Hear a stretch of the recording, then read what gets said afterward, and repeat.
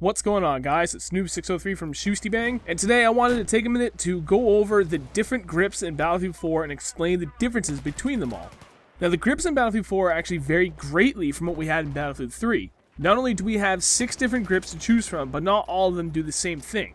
What you end up with is 6 different grips, but only 3 variations in what they do. So you have 2 to choose from that will do the same thing. In this video, I'm going to break down what each one does and what kind of playstyle each one is best suited for. This is something I actually saw a comment for several times in many videos asking for an explanation to kind of break it down in layman's terms that anyone can understand, so I'm going to do the best that I can. The ergo and vertical grip are both designed for the running gunner who prefers to fire on the move at all times. When you fire on the move in Battlefield 4, you get a spread penalty added to your gun's accuracy. This means that you're less accurate when firing on the move than you would be if you fired while stationary, regardless of if you're hip firing or aiming down sights. Both of these grips help to counter that by decreasing the added penalty by 50% for both your mobile and stationary spread.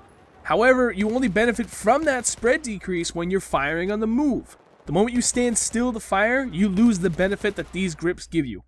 The potato and stubby grips help to improve your accuracy by reducing the spread of your bullets in two ways. First, it decreases the incremental spread of your weapon by 15%, either while aiming down sights or hip firing. In layman's terms, and as I interpret it, when you're firing full auto, your bullets don't go in the same spot every time due to the recoil. Each gun has its own spread pattern of where those bullets can end up when firing full auto. With each bullet fired, the spread grows incrementally by a set amount. These grips will help to minimize that spread growth just a little bit, so the gun or your aim will travel away from what you were aiming at just a little bit slower than it would without either grip.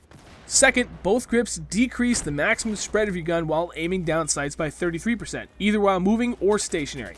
For example, if you stood and fired at a wall with no attachments, full auto until you ran your gun dry, then do the same thing with either of these grips, the bullet pattern with the grips would be a little tighter, and more importantly, more accurate to the exact point that you're aiming at.